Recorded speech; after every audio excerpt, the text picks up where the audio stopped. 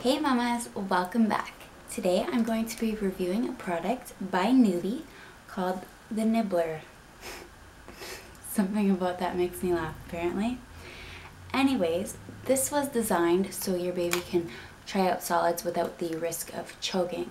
I've been hearing a lot about it lately and my baby girl Ariella has just started on solids so I thought I'd pick one up and give it a try.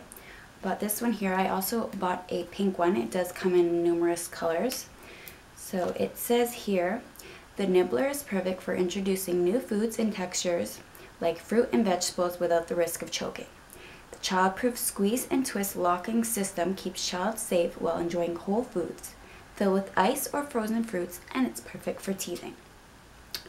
So it is also BPA free. It says here 10 months plus. My daughter is six months, so don't really know if that matters all too much. I guess it's what you feel comfortable with. So it comes in this package here. Down in the sky.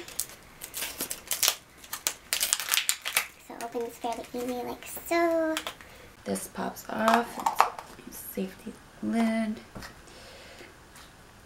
Okay, so I guess what you would do here is comes with two, so you squeeze the sides and twists and pops open. Comes with a mesh net like so, so you would put your food in here and put it back on and it locks shut. Now I did try this earlier. I put bananas in here. I think that would be a great idea if your child is teething to freeze the bananas or chop up strawberries or whatever and then put that in here as, and try that. Um, my daughter did enjoy this. It says it is easy to clean and that was the only issue I had with it. Also, sometimes it's hard to unlock, but you will find it gets pretty messy once they have chewed on it for a while, the pieces will start to come out and on their fingers and whatnot, which is expected with a baby, but I suggest not to use this on your suede couch or anything like that.